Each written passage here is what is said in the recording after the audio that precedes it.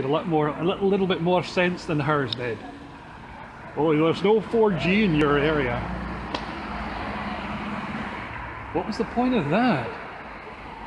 Sorry, not you, not not you. It's some guy walking in front of the car park gave me the finger, but I think he did it to the camera.